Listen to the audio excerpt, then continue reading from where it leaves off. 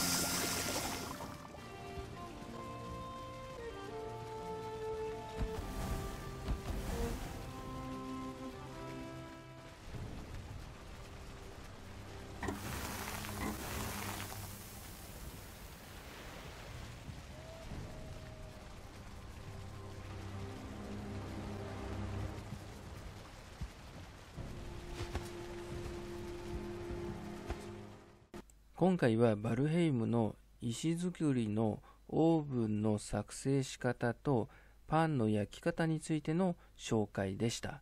この動画が良かったらチャンネル登録していただけると助かります。それではまた。